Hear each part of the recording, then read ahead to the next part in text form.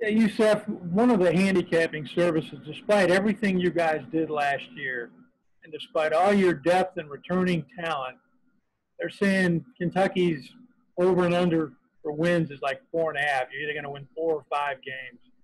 I know y'all don't worry about that, but do you guys ever talk about that kind of thing? And what is your reaction to that sort of prediction?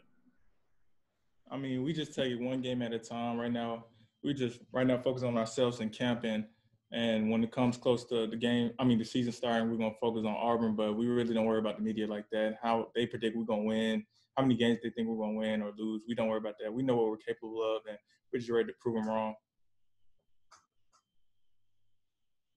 John Clay.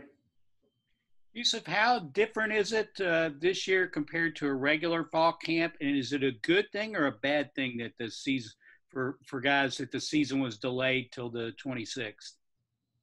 I feel the big differences is that uh, we have we have more emphasis on film, and every reps you get, you need to really take advantage of. I mean, normally normal camp we have practice every day. Now we have some breaks in between. Maybe we may practice two days straight and things like that. But just really taking advantage of the reps is probably the real difference, and paying attention, locking in during during film. Josh. Yusuf, you you last year everybody's kind of pinning the whole doom of the defense on you guys, and now this year it seems like it's three deep everywhere, and everybody's really excited about seeing what you can do. How do you, you know, compare this year to last year, just as far as the expectation level from your unit?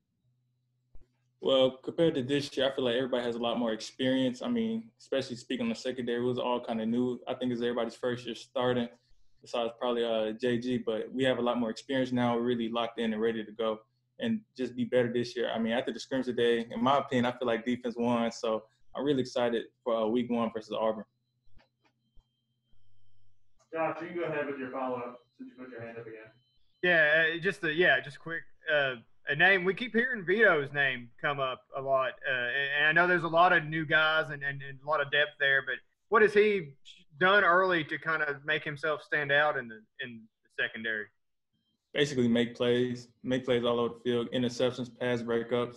Uh, we had scrimmages that hit somebody pretty hard, knocked them down. Even him and Joe, I mean, they go full speed, 100% effort all the time, and they just uh, have that certain wow factor. You know, when you watch a film or you just watch them on the field, you be like, "Who's that guy running?" You know, especially him, Joe, and Ricky, all really three of our new guys. They got that wow factor. Chandler.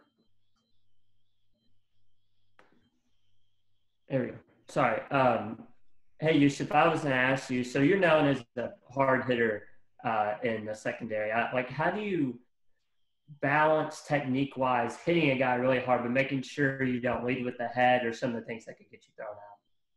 Well, one thing is keep your head up. No more target penalties. I'm, I know every time we go out to the scrimmage or practice, if someone uh, jokes me, be like, "All right, no targeting today," and I just, you know, what I'm saying. Uh, in open field, just basically just try to get the man down, especially as a safety position. I mean, you're the last line of defense, so just make sure you make that tackle. But when it's a one-on-one A gap, you know what I'm saying, hit, then I just play everything I got into it.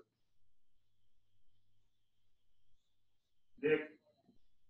Yusuf, I would imagine some people might be surprised to see that you led the team in tackles last year, even though you had that huge game against Georgia and a big game against Virginia Tech. How do you feel about the way you came on strong last year toward the middle part of the season, and how do you what are you looking for this year in terms of improvement personally? Uh, just consistency in my play, making more plays on the ball, and I really wasn't surprised that I led the team in tackles. I always knew what I believe what I could do, and just having good mentors uh, in front of me like D. Rob, JG, uh, D. West, and Mike Edwards, just piggybacking off of what they was doing, and I didn't want to let them down. So All right, everybody, that was all the questions. Oh, oh no, we got one more, looks like. Beat the buzzer, Curtis. Hey, Yusuf, uh, any fatherly advice you're giving Brandin Echols? Uh, just a little bit. When she sleep, you sleep. That's the only father advice I can give him. You kind of follow up, Curtis. nah, that's good. All right. Appreciate it, everybody.